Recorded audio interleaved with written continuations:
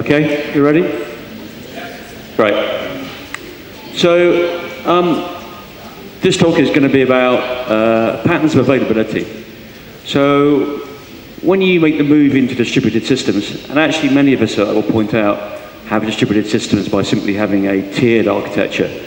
In other words, you run a separate um, web server to a database, potentially with a mid-tier as well. You're going to come up with the problem that those tiers are doing inter-process communication, which can fail. And so a lot of this talk is about how you resolve that issue. Um, and we'll look at both what can cause individual tier to fail and how you might fix that, but also what you do when you get experience tier failure. Um, who came to my talk yesterday? A few of you. Uh, the only point I, I tend to highlight is the one on the bottom. That's that people standing here are not smarter than you. They're just more confident, probably. You're just as smart. Anything we can figure out, you can. Uh, this is where I work. Uh, we do, we're a startup in London, we do collaboration online, uh, mainly for businesses that want to uh, work with people outside the organization. So we're kind of an extranet. Um, the only thing that's important about that is I'm not a consultant. I have nothing to sell any of you. I'm just going to share what I understand about this process. Okay. I will briefly mention microservices just because uh, microservices have made this discussion more relevant it will be like two slides, and I will get through it very quickly. Um, I will then talk about availability. What is it? What do we mean by saying something is available? Okay. I will then talk about tactics we can use to increase the availability of our site. And then I will finally talk about fault recovery. In the event that something goes wrong, how do we fix that problem? At some point during this presentation, we may do some audience participation with throwing, just throwing some balls around to try and demonstrate patterns. It's really easy. Please don't be afraid to volunteer. Um, the only slight fly in my ointment usually is that being geeks, many of us can't catch very well. Don't worry, that doesn't really uh, uh, make the problem any worse. But it's usually kind of fun, and it's a different way of showing you the same pattern. Okay?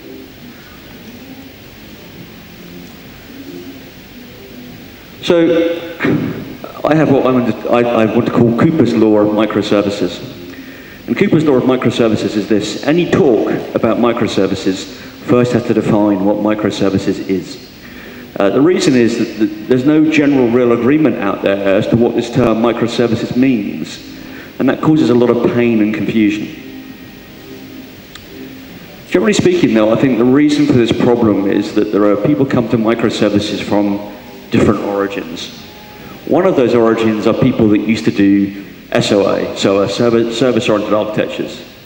And those people, when they look at the idea of taking a monolith application and breaking it up, they say, well, we've done that for years in SOA, so this is just really like SOA++, right? This is Guerrilla SOA on steroids. So we're saying we're not going to use an enterprise service bus. It's all going to be direct communication. We're going to employ things like uh, DevOps culture, uh, you built it, you own it, um, etc. Right? So those, the SOA guys say, well, we understand this, it's just SOA. It's SOA better. Then there's a school of thought that says, nah, microservices are very small things. It's just like Unix uh, pipes and filters. It's the way that Unix does commands. And what you want to do is create really tiny things um, and assemble them together. So serverless is the, is the kind of extreme of this kind of model, right? Where effectively you say, I'm just going to deploy everything to Lambdas on Amazon and get Amazon to host and run them. And they're only 200 lines of code each. Neither one of these is more microservices than the other. They are just different schools of thought on microservices. Quite often people say microservices is an architectural style. It's not. The reason we can say that quite definitely is because of what an architectural style is. So architectural styles were defined in at Carnegie Mellon University in the in, uh, 90s. And an architectural style is a way of defining an architecture as a series of components and connectors such that we can compare two styles and determine their characteristics of suitability for being used for different applications. And they talk about essentially the constraints that you have in your components and the constraints that you have in your connectors in order to build a system of that type and the properties that you get. Most definitions of microservices uh, do not essentially conform to an architectural style in that way. What you do see is that microservices can be implemented using a range of architectural styles. And so the best way to think of microservices is actually as a goal. It's simply a goal which says I have a monolithic application and I cannot scale my development process because I can't get everyone playing in the same sandpit. So I need to scale my development process by having a lot of sandpits. And the way that I do that is to choose from amongst one of many approaches to producing microservices, depending on my context. Is SOA better for me? Is a serverless model better for me? That's something you have to decide, but they are all equally microservices.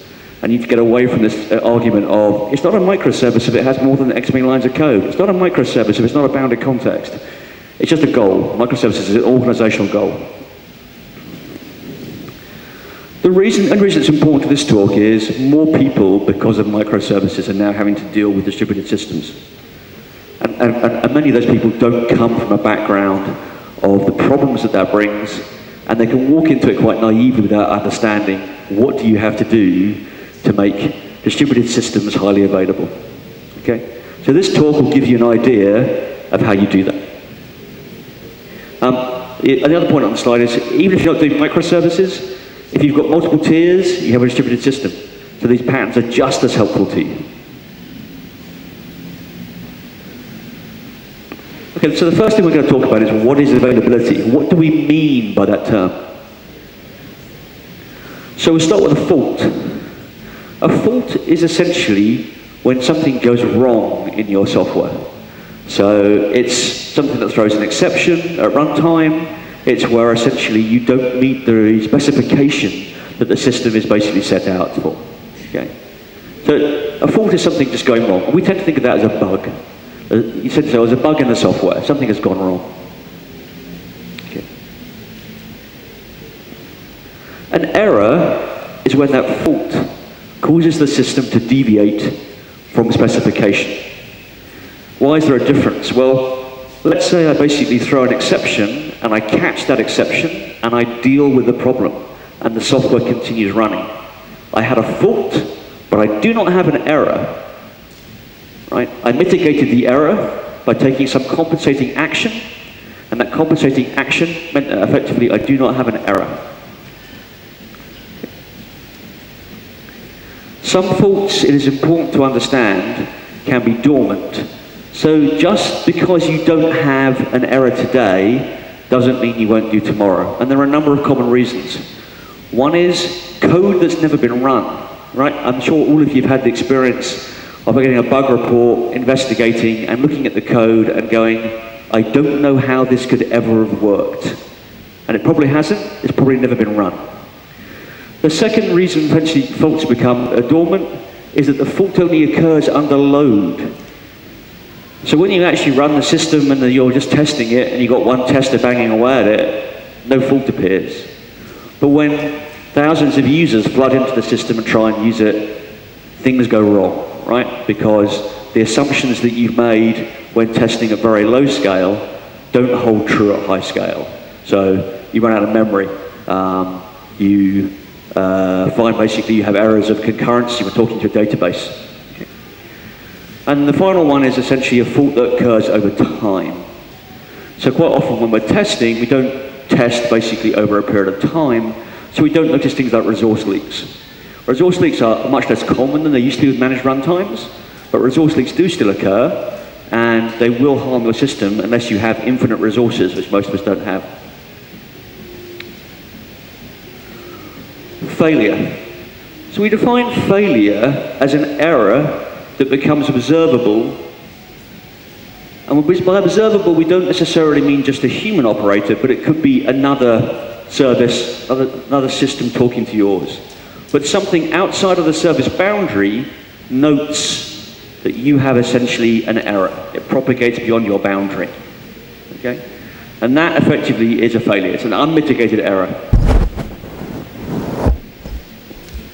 So we define availability as the ability of a system to essentially mitigate faults so they don't become errors, so they don't become failures that are observable to the end user of the system.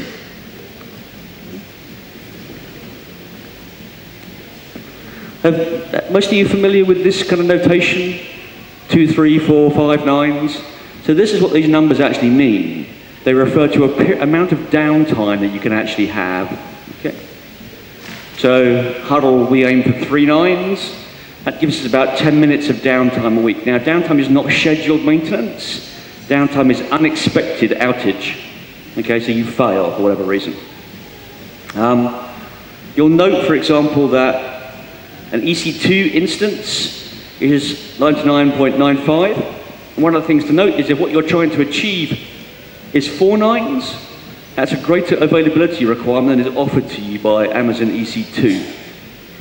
So the only way you can essentially achieve four nines if you're running on Amazon EC2 instances is you have to have the ability to cope with that potential failure and mitigate it such that you don't essentially you fail yourself, right? Typically, what we see is people running in multiple availability zones. Okay, because your single availability zone has uh, 99.95 availability. If you want four nines, you're going to have to have a second availability zone you can fail over to if the first one goes down. That's what we mean by availability. Um, so how do we achieve availability? So we can, we can divide the process of trying to become available into a number of steps. The first thing we can obviously do is try and prevent defects from appearing in our software to begin with so that we don't create things that could fail. Okay? The second thing we can do is say, well, when failure, do, when, when, when faults do happen, I want to detect those faults so I can mitigate them and prevent from creating system failure. And finally, we may attempt to recover from faults that essentially have caused us a problem and we want to say, okay, I don't want the whole system to go down, I don't want to lose my availability. So if part of my system, a given microservice fails, then can I recover from that and keep going? All right, let's take the first one. So most of us know, even if we don't really practice it, what the good techniques are for fault prevention, I'm sure.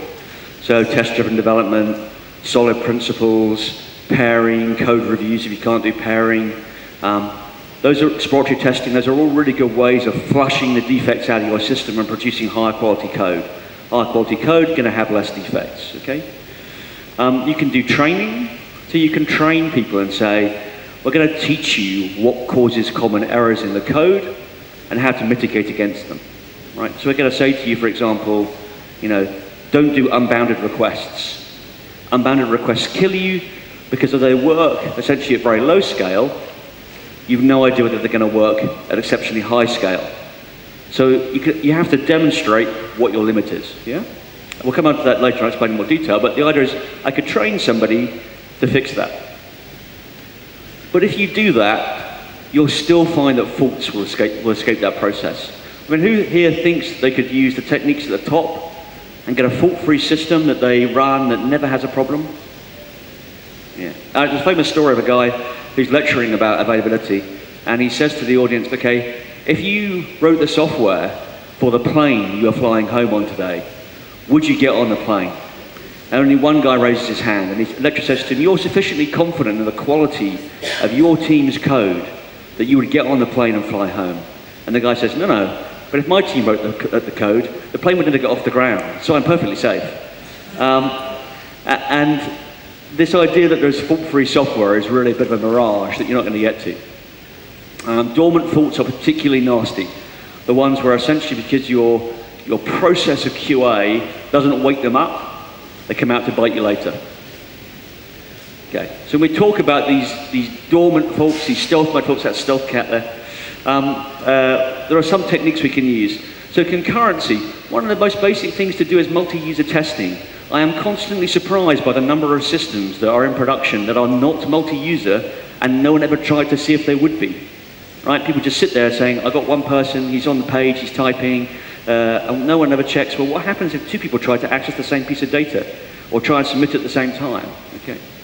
So you need to try and flush out uh, concurrency errors. If your system wants to be multi-user, you have to make it multi-user. Um, resource leaks. The best way to really flush them out is essentially to run what we call a soak test. So run a test suite, run it over, say, a weekend, come back on Monday morning, and look at performance counters and say, what happened? Did my memory keep creeping up and up and up and up and up? Even though it garbage collected, there's an upward glide slope. That means I'm leaking resources. Okay? So look for those leaks. And finally, essentially, data growth. Right? There are all sorts of surprising problems occur when essentially you get data growth. So the classic example would be something like, you know, what happens if I have a parent-child relationship and at the minute, I'm expecting that parent-child relationship to be something like 1 to 10. Okay. What happens if for some reason as my system it enters use and I get explosive growth, which is a good thing, right? I'm suddenly now dealing with 1 to 10,000. Lots of the assumptions I've made about how my code is written may no longer hold true, particularly if I'm doing something like lazy loading through an ORM. So you need to test at scale. Um, but even if I say I'm going to go use all these approaches to try and prevent uh, defects, you're going to find essentially that faults will happen in production. And most people are saying, you know, particularly if you're in distributed systems, you've really got to accept that you are never going to deploy fault-free software. Given that, what do you do about it? Given that you know your software will not be fault-free. The first thing we want to do is to try and detect those faults. Now, a typical way we might try and think we want to detect faults is well, I'm going to log stuff and I'll use ELK or whatever effectively to monitor my logs or I'll tail my logs. The trouble with that is it's not particularly useful to you to actually react in time. It's a, it's a very good forensic process and it's useful for examining crashes after they occur. It's kind of your black box flight recorder of your plane. Your plane has crashed. I can now see why it crashed. But your plane crashed. Okay? What's more useful is what we call application performance monitoring tools. So application performance monitoring tools, their purpose is to monitor things like resources, CPU, hard disks, memory. Um, they're also there effectively to what usually monitor key transactions in your system. So you set them up effectively so that they say, right, from end to end, this transaction spent time in the following places in your code and in your database. It's also worth looking if you're using basically databases and monitoring tools those databases to look at, for example, blocking operations. All those things are symptomatic of the health of your system. So uh, we use, for example, New Relic, but there are many other ones available, Nagios, things like that. And you should generally have some kind of monitoring that lets you understand the health of your running application and lets you set up alerts so that you can alert operators to say, there is a problem with the system right now, and we need to basically alert somebody because they may be able to eventually prevent those faults becoming failure that the users see. Okay. So if we can't, if we can't prevent faults from escaping into the wild, one of the things that we want to do when we detect faults is essentially try and recover. We want to build our systems to be robust in the, in the presence of failure. And when we talk about distributed systems, particularly microservices, the key thing that concerns us is essentially cascading of those faults. So when one service fails, what I want to avoid is that fault propagating out to the rest of the system and causing the whole thing to come down and fail on us. So if I say I've got, for example, system A and, and system B, and B depends on A, if I get a fault in A, and that fault is not mitigated, we don't catch the exception, we don't deal with it, that then becomes essentially an error in A. If then the error in A is not mitigated, it may become a failure. System A fails. System B now has a fault, and that fault is it can no longer talk to system A. If we don't mitigate that fault in system B, we'll then get an error and a failure in system B. And that will propagate throughout the chain until our entire system comes down. And that's what we call a cascade failure. All right, just to change the pace a little bit, we'll talk about cascade failures in other engineering environments. Does anyone know the story of UA Flight 232 very much? Okay, well the front does, okay. So UA 232 essentially is a DC-10 and the DC-10 effectively develops a stress crack in one of its fans.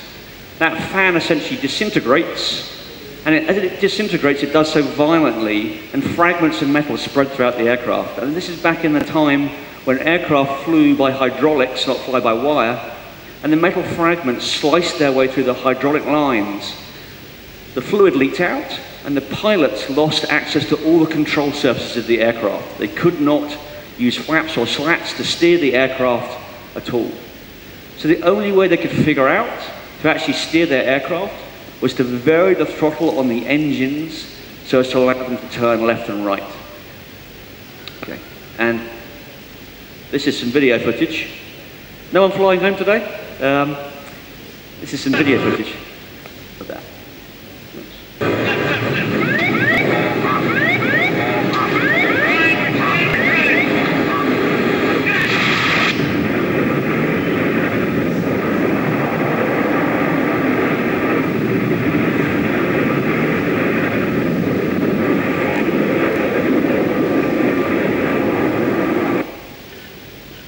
Apologies to those who flying today. Um, so, the good news is actually that um, 185 people walked away from that, which is quite surprising when you see what the aircraft was actually doing. Um, and the aircraft continued to cascade down the runways in Iowa until basically it landed in some cornfields. And at first they had no idea that anyone had survived, and then people began to walk out of the corn. Um, the guy who flew it, his name was Captain Al Haynes, he became something of a hero. They tried to recreate what his crew had done to land the aircraft in simulators, and nobody could actually uh, uh, make the same uh, flight. So it became known as the impossible landing because no one could actually figure out how they did it. Uh, this guy here is uh, Colonel Nielsen. And Colonel Nielsen essentially found this boy who'd been wandering out of the corn after the accident carried him to um, uh, a waiting ambulance. Uh, a, the statue, I think, at the airfield is basically of this particular scene, and the image went around the world quite quickly. The next day, he turned up at the hospital to see how the little boy was doing, and one of the reporters shouted out to him, uh, My God, sir, you saved that child. And he replied, God saved that child, I just carried him. There you go. So that's why we don't want cascade failure, right? Cascade failure is bad. One little bit breaks, and the whole thing comes down around us. So how do we recover from, how do we recover from faults? So we're going to show you the basic techniques you need to understand to recover from faults. The first one is about timeouts. Okay, so timeouts are a really simple technique to use to recover from basic faults. I'm trying to talk to this other component, and the other component fails. What I need to do essentially is save my component from blocking a thread, waiting for that thing to come back by timing out at a certain point. So, the diagram. So I've got a database. So imagine the database, essentially, the connection pool becomes exhausted. The reason is probably that my connection pool is currently, currently used by long-running queries on the database. We've had this one happen to us. Right, so I can no longer basically allow you to connect to the database. I no longer have connections in the connection pool. So my mid-tier service then develops a fault. Right? I can't talk to the database. Because if it has no timeout, it will just sit there waiting for its opportunity to talk to the database. It'll just say, I'm going to wait here for a connection to become available. The problem then becomes essentially that I may run out of threads here because all my threads are now going to back up waiting to get their connection to the connection pool, right? And that happens quite a lot faster than you think if you've got volume. The problem then is that the front end can't talk to the mid-tier service and if it doesn't have a timeout either, it's just going to sit there waiting for the mid-tier service to respond. And it's going to consume all its threads waiting for the mid-tier service to respond. At a certain point, your web tier has no threads available left to service incoming requests. Generally, a modern web server will queue requests for a short period of time before effectively eventually then says, I can take no more. And your users will see whatever error your web, your web, your web tier produces, right? So if you're Microsoft WAN, it's called a yellow screen of death. Um, that is failure. It's now become observable to the user. And it's really simple to fix. You just time out this operation. You say, I didn't get enough, I didn't get a response quickly enough, so I'm going to release my thread. I'm going to go back to basically the server and say, I couldn't get hold of what you wanted. Okay. On the server, we can sometimes do useful things at this point. We can return a 49 too many requests, to the client applications and say, back off, because we are struggling with the load. Please do less. All right. Anyone want to volunteer to demonstrate this? Volunteers are good, otherwise I will volunteer some of you. Come on, it's really easy. People in the front row, only three of you. Come on, sir. Up you come. Come on, two other people to join him. So it won't hurt you, promise. No one gets hurt. Well, not yet. Uh, come on, one other person. Yay, all right. So you can be my web tier, you can be my mid tier, you can be my database. All we're going to do is we'll just form a line. All we're going to do is we're just going to show a normal request. So we're just going to pass this ball down and up and down the line. More requests coming in.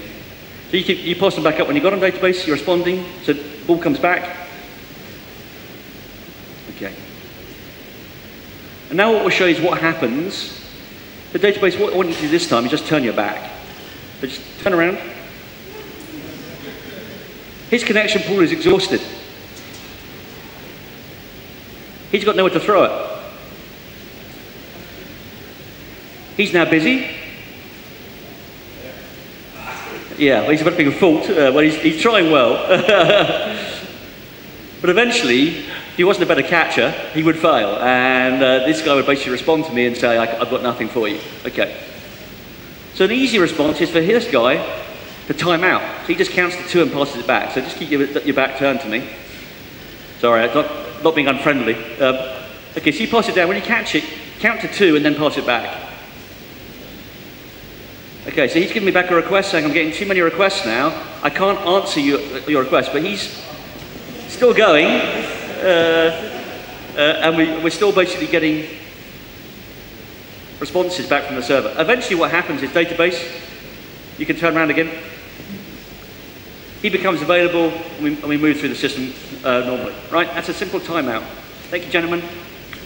We need some more volunteers in a second.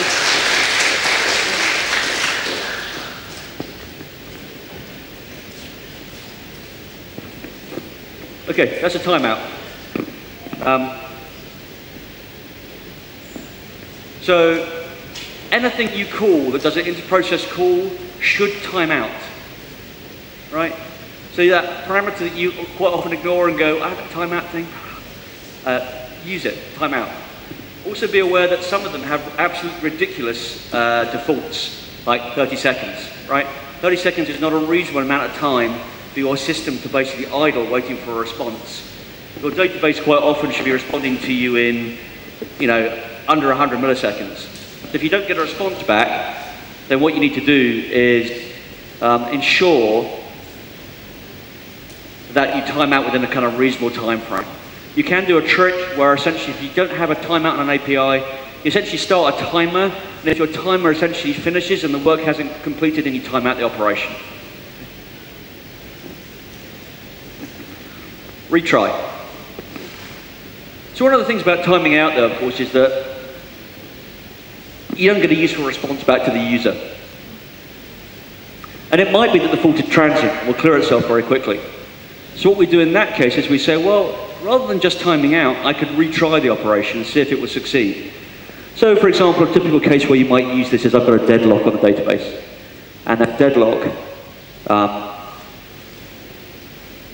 will pass because one of the items will complete, the deadlock will be freed up, and we'll be able to basically make, repeat the call. So a retry is a very common solution to availability problems. Okay. So here again I've got basically my database, and I've got a failed request due to a deadlock locking basically a table or a resource that I need. And while my current model says I'm going to time out at that point, I just retry the operation, say, okay, I'm going to go back and I'm going to retry it. It will probably succeed. All right, let's do a quick demo. Either the same people or different volunteers want to hop up here and we'll do some passing around? Come on, people. Only three. One more. Sorry, people who are hiding, I can see you, won't pick on you, promise. All right, just form a line. So we'll do the same thing, we just pass up and down, but what we'll do this time is just do a quick run so everyone gets the feel for it. Come back. Okay. So database, what I want you to do is turn around, but I want you to count to two and then turn back to face this. And what, what, what I want you to do is essentially retry throwing the ball at him. So request comes in, database is blocked, effectively, but he's going to retry, ball comes back. Okay? So we keep going with that process. So just, just do a, a couple at a time front end, another one coming through. Yeah. Right? that's pretty seamless. No one really notices what happened. Okay, thanks, gentlemen.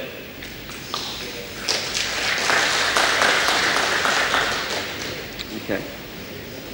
So if the fault is caused by something essentially that's quite rare, just retry instantly. So typically it's a network communication error. Suddenly for some reason you can't talk over the network. Um, if it's called by basically load, in other words, you're aware that it's a problem like a lock, uh, then essentially what you want, to, want to do is have an interval you wait before you retry. Often you do it exponentially and retry a couple of times. Um, if the fault is permanent, don't retry.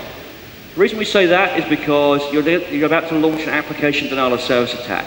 You're about to, a component is under stress, and essentially you retrying the whole time may only make that worse.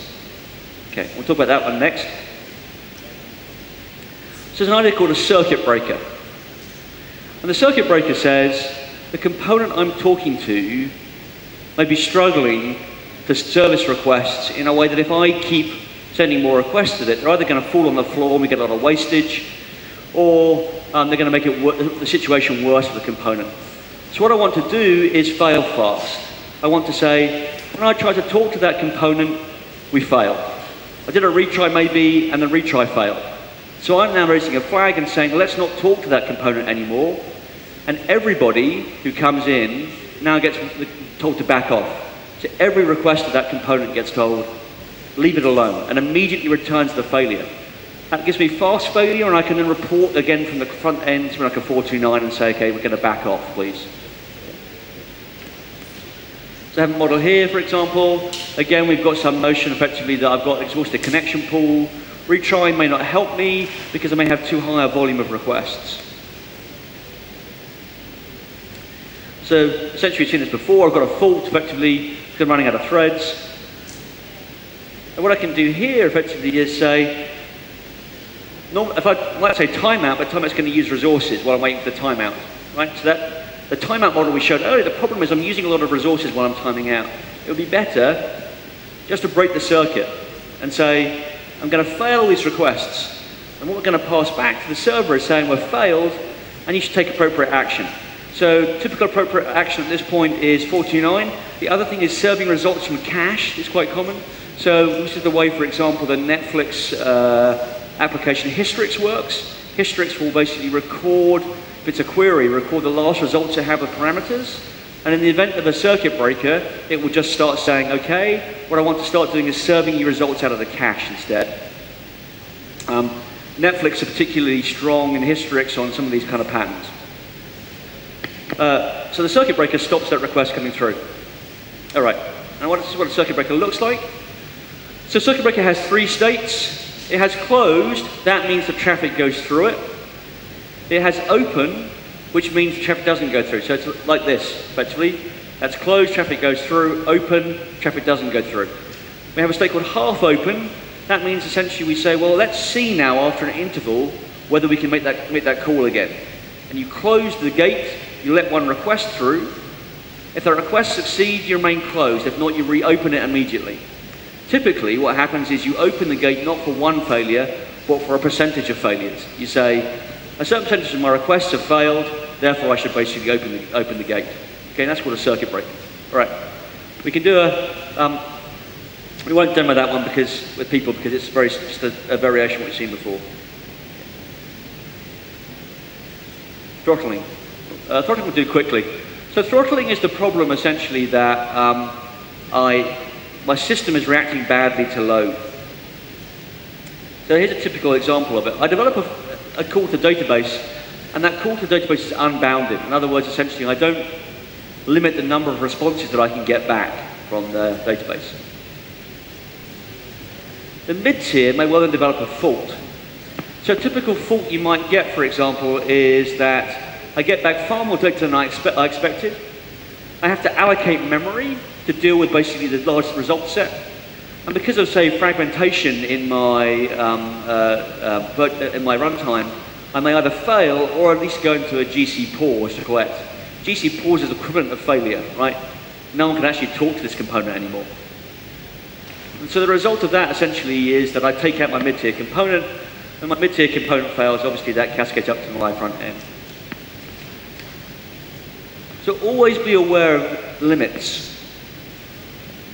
think about the limits of what you want to do. Now, a good rule of thumb here is to say to yourself, what is the, what is the response I expect from this API in terms of performance? Usually what you want is an end-to-end call should tend to complete in under 250 milliseconds. If, my, if, if, my, if I look for the breakpoint at which the number of results that I return would cause my overall call to exceed what I set as my limit, around 50 milliseconds, then essentially I say, well, that's actually my limit. My limit is the point where that gets exceeded, and I won't support requests for larger amounts. So my orders, my order lines on my order are limited because at a certain point it will exceed the performance budget that I've set to that component. Okay? Always have limits. Unbounded requests are the thing that as you begin to scale, kill you rapidly.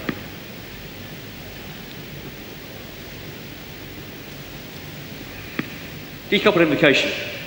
Um, decoupled invocation is also really use messaging. So the patterns that we've looked at before, one component expects the other component to be up and available. Right? Yes, those who came to my talk yesterday, we referred to that as temporal coupling. An alternative to temporal coupling is to use decoupled invocation. That is, I don't send it to you directly, I put it on a piece of middleware, a message queue, and I wait basically for that message. A, a consumer reads off the message queue and process it at some point in the future. And the real advantage of this is it makes it very easy to scale because it doesn't matter what the inbound request rate is, I can allocate as many resources as I can manage to consuming the queue. So I can always slow things down and say, okay, maybe the inbound request rate is this, but I just act when I get the request in. I put it on a basically a work queue, and eventually my consumer will read it off the work queue and deal with it. So I can scale to meeting a high number of requests, provided I can accept latency, provided I can accept the response occurs in some point in time. And there are tricks around that. You could say, for example, if it's an order line on the front end, I'll just treat it as though it actually happened and assume that the back end effectively is not going to generate an error. And if there's an error, I can deal with it out of bound with an email or a contact with the end customer. Amazon does this all the time, right? Amazon takes your order, it has no idea whether it's in stock, it has no idea whether your credit card payment is going to, going to succeed.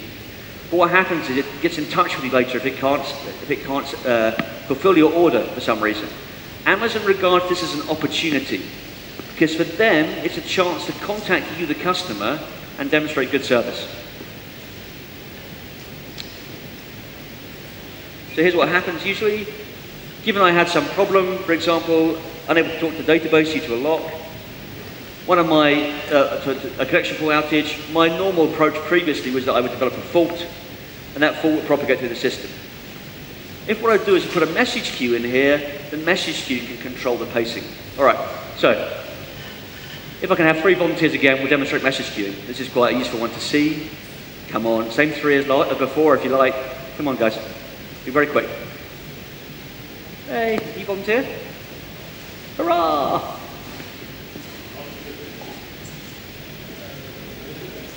All right, so web tier, mid tier database. What we'll do first of all, I just want to show you, remind you of what happens. So if the database turns its back, I'll remind you what happens normally is it goes to this guy, this guy's frustrated, and essentially he either basically times out or circuit breaks and passes it back, right? Okay, so what I want you to do this time, sir, is I want you to hold on to the balls, right? Put them in your shirt or something. So you're to act as a message queue. You're just going to store the requests that come in. Database, what I want you to do is just take balls out of, the, of his collection when you're ready. So you're just reading off the queue when you're ready. So this guy's essentially just storing messages. Whoops. The web tier is not listening to us. And you can see essentially, no matter what rate I pass them at, the database can essentially do with them whatever rate he wants. But obviously, once the database passes them back to they, they come all the way back up the line.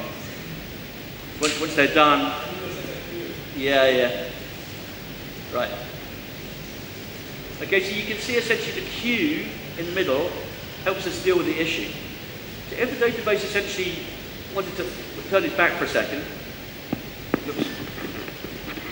the database just wanted to turn it back for a second, the database is not there, the queue just builds up, right? We're just stacking up items. The database turns around now and starts taking items. We haven't lost any work. This is what we tend to refer to as guaranteed at least once delivery. Right? So we're not going to lose our, our, the valuable requests from our customer. They are stored for later usage. All right, gents. Thanks very much. Round of applause guys.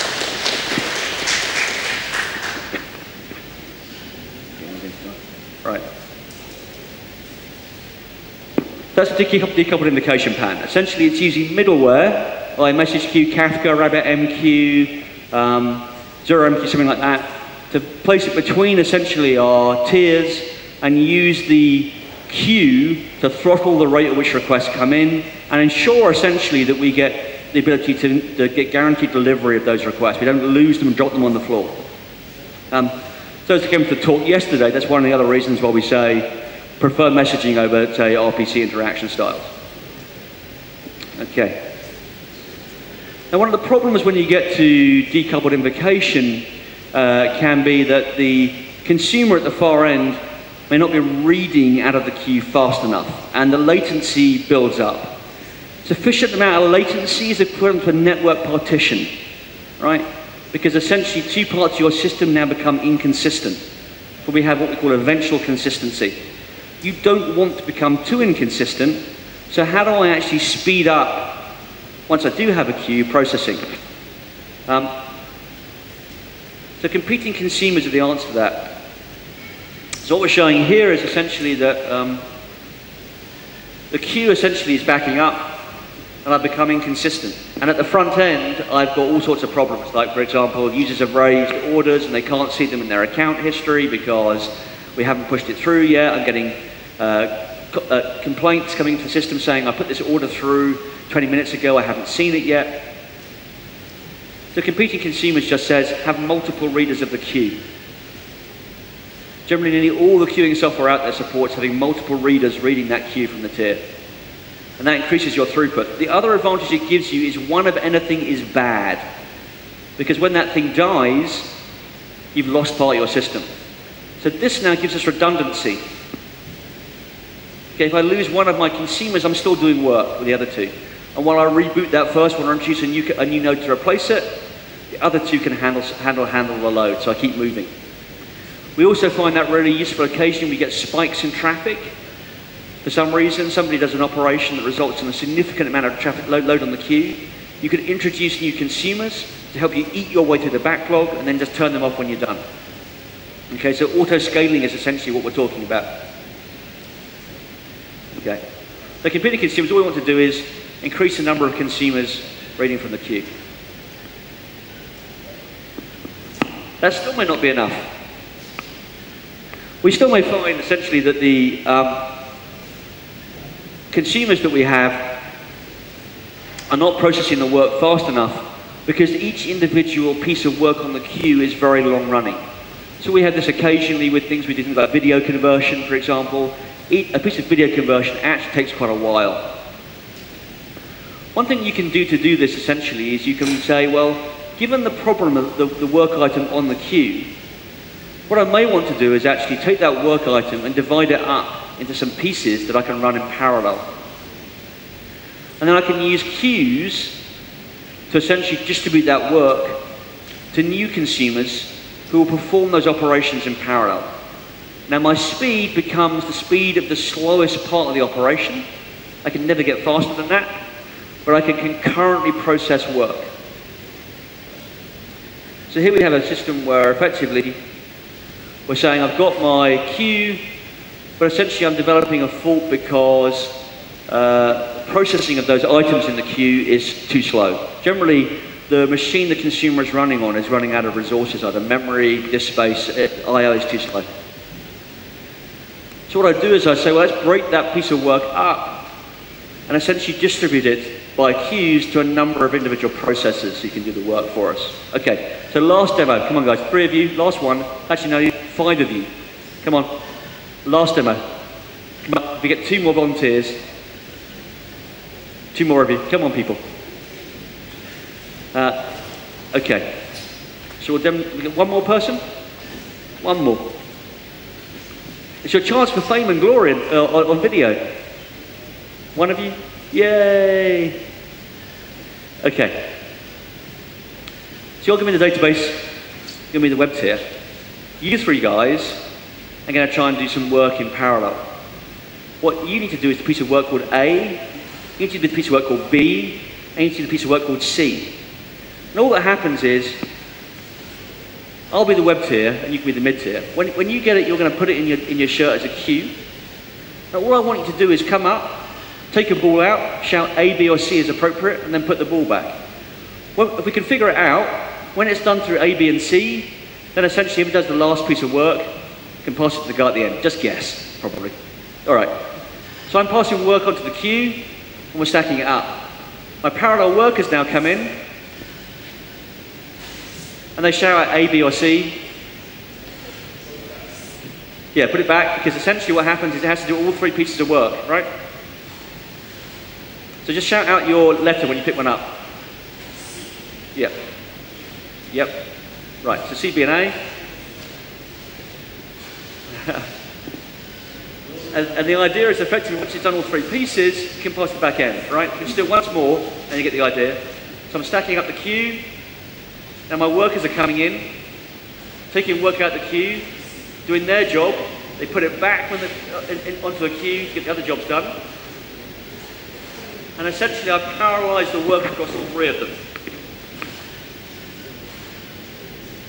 Okay, great. Thanks, guys. So that's parallel processing. Okay, so you break the task up into a series of substeps, and you basically use queues to distribute that work to your consumers. There's a real advantage here as well in terms of monitoring. If you have a large piece of work and you're reading a queue from those large pieces and it takes you a while to process it, it's very difficult to understand where that consumer, if you have a single one, where it is in that, in that job, right? If that job's going to take a minute, how far in is, it, in is it?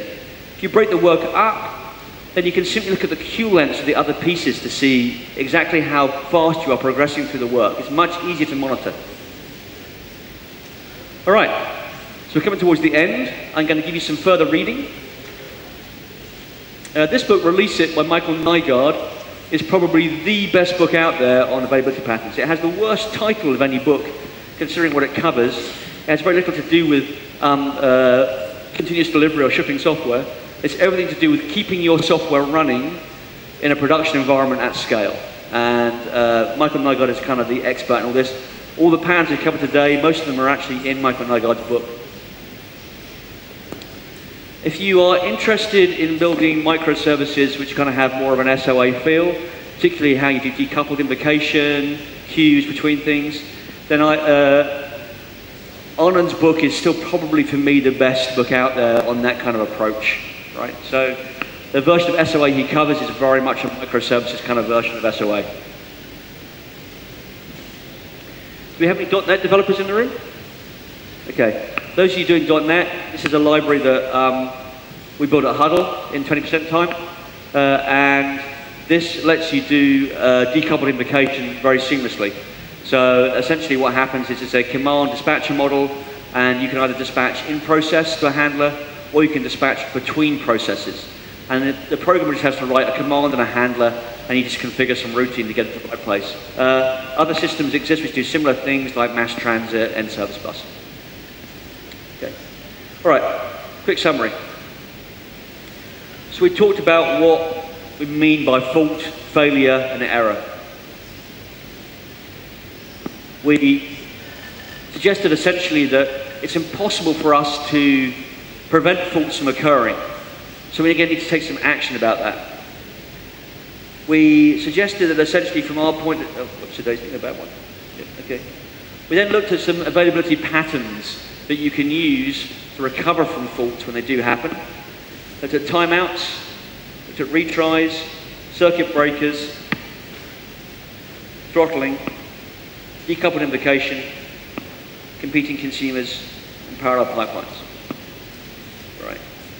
Okay, guys, because we're running late from the previous session, I'm, I'm very aware that um, uh, I may want to get lunch, so I'm always happy to take questions over lunch.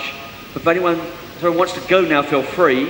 And anyone wants to actually ask questions here, I'm also happy to take questions here, but I don't mind if you suddenly go, I'm really hungry and I'm running away, okay?